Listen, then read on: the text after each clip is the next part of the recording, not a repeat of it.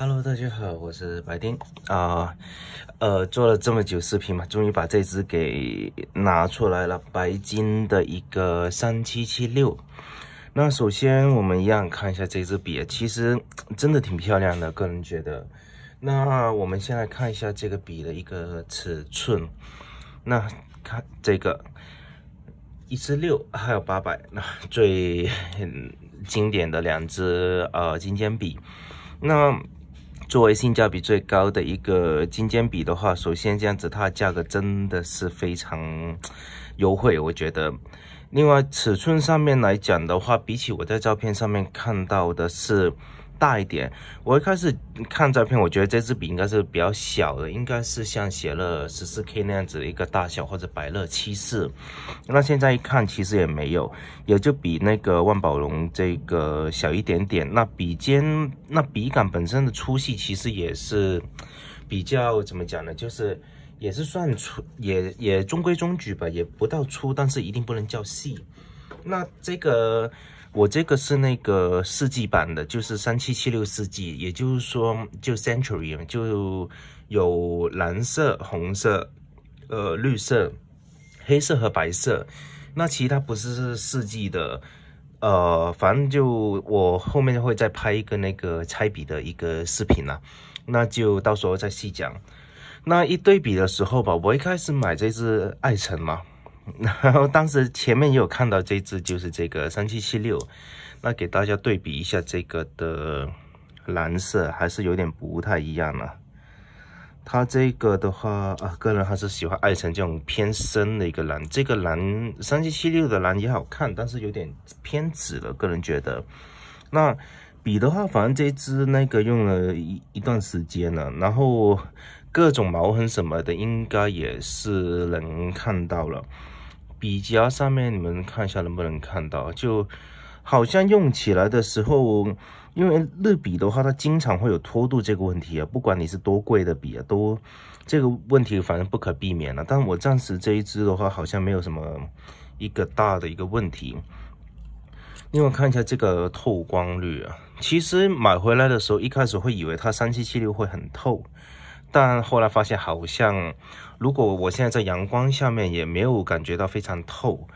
另外，它里面还有一个那个密，应该叫什么密封套？就是说，它这支笔嘛，其实我现在已经洗过了。我洗当时写完然后洗的时候嘛，我差不多，然后我洗完然后就擦干嘛，但是没有用那个钢笔清洁液，呃，去泡它，我就直接这样子选好。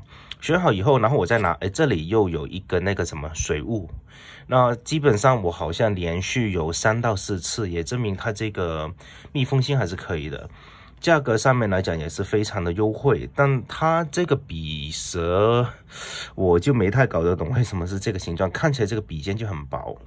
那拿一下这支笔的时候，因为三七七六这支的话，反正基本上都是来源于这支嘛。那从笔型上面来对比的话，它这个其实也是算挺直的。我个人还是喜欢直的，不太喜欢说呃往内凹的那往内凹的那样子。我喜欢直一点。拿起来的时候，个人觉得这个是有点小，可能是拿我我本身是用大笔的，用用大笔用的比较习惯。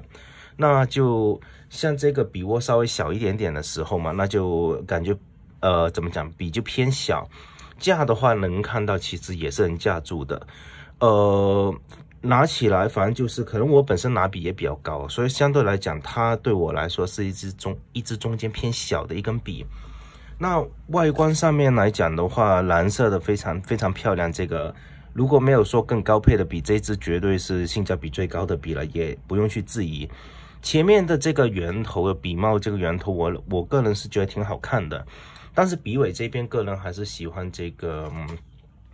一四六这样子，我还是喜欢它这样子偏这个环偏浅一点。那像三七日比好像很多都是偏厚的，那就感觉像什么？这样看的时候，它就像一个头大然后尾轻这样子一个比例。那个人对比例还是很着重的。另外就是说，它的整体来讲的话，呃，跟一四六来比的话，你们能看到一四六的弧线它是比较尖的，这个就偏圆那。很有那种日笔的温柔就是很温柔的一种美感。呃，笔的话，那这里给大家看一下笔，主要是看这个地方了，其他我认为就被笔夹也没没必要去看。我用笔算是，我觉得也算是粗糙，但是好像还没有偷渡的情况呢，真的奇怪。你看嘛，Made in Japan，能看到吧？然后这里是那个三七七六，日本富士山的高度啊。再下来就是它的一个，我我不懂为什么一个 P 再加一个 Pentium 嘛。我其实我到现在都不太确定它的 logo 是这样子一个 P，还是说是那个 Pentium 这样子的一个就全写。嗯，比比这个叫什么？笔环上面吧，就是细节度肯定跟那个一四六肯定有差了。呃，毕竟价格有差一截。另外一个就是呃，这只毕竟是原配嘛。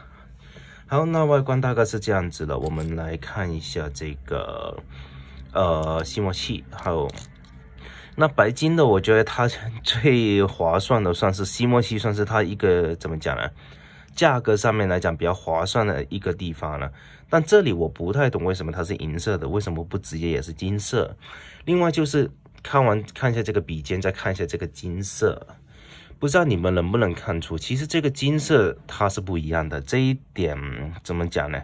有点小失望。就是我认为这个金色，但是金色在这个情况上面其实是很常见的，就是呃那个呃颜色颜色不统一嘛，这个是很常见的。玫瑰金会好一点，还有银色会好一点，但金色的其实常见很常见，就是说啊这个浅点，这个深点或者怎么样的。然后，呃，回去刚刚那个吸墨器，它这个吸墨器口径我是不太确定是多少了。反正白金的就只能跟无足的这两个品牌只能互相通用，其他都不太行。另外，它的吸墨器是金色，很罕见，就是很少的一个品牌，它吸墨器是给一个金色的。那你去配一些透明示范笔的话，有时候这个金色真的是啊，加成非常高。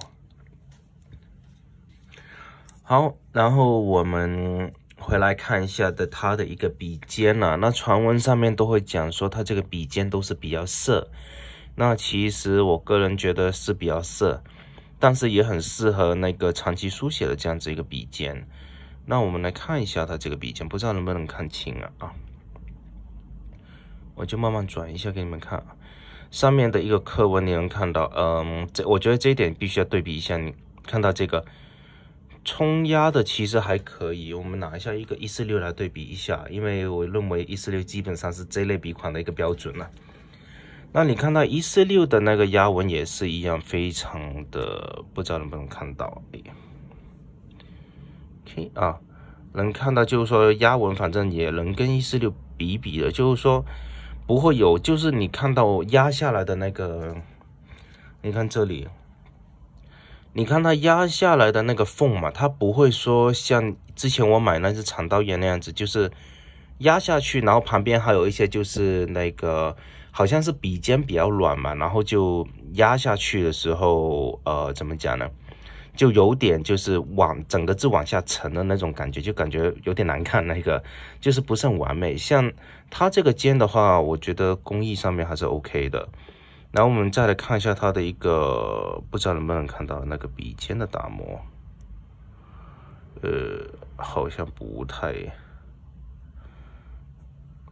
嗯，可以，可以，可以，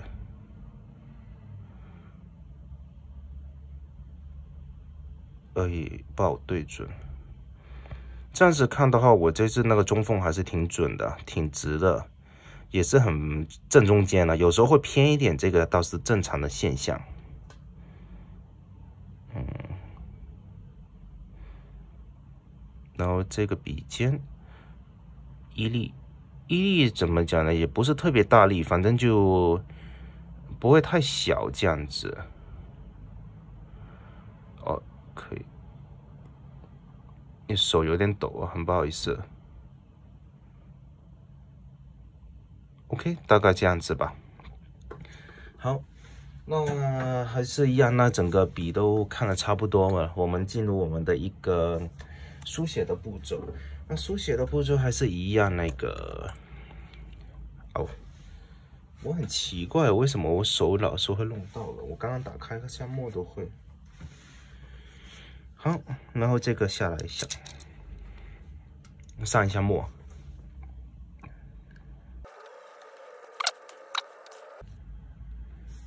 是不是我的上墨的那个手势不是很标准，所以我经常会弄到。然后这里来把笔尖给擦一下。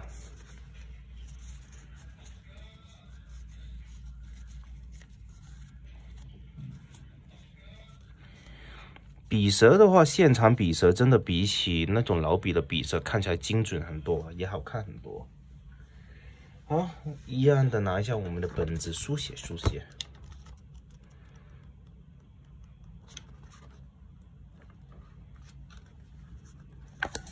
哎，不好意思，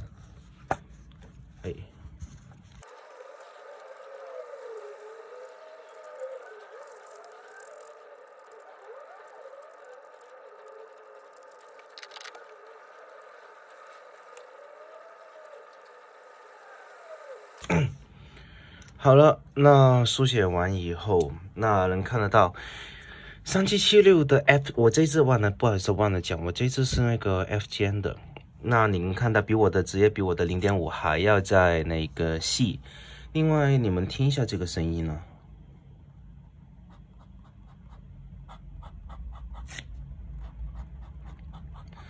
笔尖上面有点小弹，但不是特别弹，不会感觉到硬。然后呢，那个现在反正我也书写过一段时间了。其实这支笔，呃，白金三七七六，如果你第一次拿到，而且没有上墨的时候，或者你刚上一点的时候，它的笔尖感觉的确是涩的。但是我现在你把这个笔大概写个两百字左右嘛，基本上写开了，因为墨水已经填充足了嘛。那很多时候就是你买一支笔的时候从零嘛，然后到写个几百字，那个写感其实不太一样的。那很多你去装过去试的时候，的确能试到第一个那个感觉。那有些可能我刚开始试手感不好，后面好；有些是一开始不好，后面还是不好。那有些是一开始好，后面不好，反正就是有各种的一个。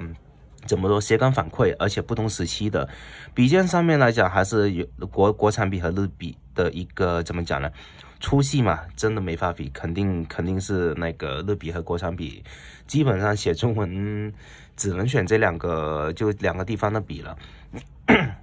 另外呢，就是反正就是我这里是重压的，但是它还没有一个很明显的一个反馈。那写起来的时候，呃，也挺顺的，有点小阻尼感，而且特别细。那这支笔的话，除了一个笔感，我个人认为是一个偏小以外嘛，那但是长期书写来讲，我认为还是挺好、挺合适的一支一支笔了。因为它一开始感觉很涩嘛，然后后面感觉就开始好写，那说明它做就是说明了它这支是属于一支比较慢热型的笔。那呃，如果是说我不买别的笔了，我我平常是用钢尖的，我再上到一支金尖笔的话，那三七七六，那基本上只能选择三七七六，也没有别的品牌或者别的笔好选了。因为价格也记，我记得应该是，如果是日笔日日本笔来讲，它肯定是最便宜嘛。我们先不把国产笔放放在一起的时候，另外一个的话，它的颜值还有各方面综合性能，就是都很平均，而且就是跟一四六那种定位一样嘛，就是各项都不错。然后呢，反正都不差，然后能用，而且也很实用。好，那这支笔总体来讲就，呃，的确是最有性价比的一支金尖笔，嗯。个人也挺推荐的，它价格上面来讲也 OK，呃，写也挺好写的，呃，对，好，那大概呃就这样子，有什么问题的那个麻烦帮我呃可以留言给我，然后也可以帮我补充一下我没有讲的东西，呃，今天状态有点不好了，那视频的效果那就请大家那个多多担待。啊，好，我们下次见，拜拜。